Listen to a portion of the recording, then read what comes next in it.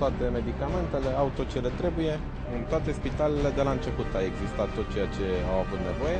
Chiar nu avem nevoie de nimic în acest moment.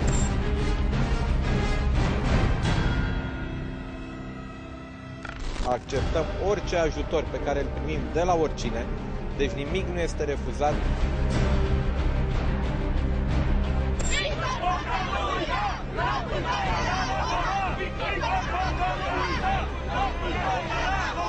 Obligația să constat supărarea legitimă uh, care există în cadrul societății și dorința din nou legitimă de a avea responsabilități mai mari decât ale patronilor de la firma respectivă.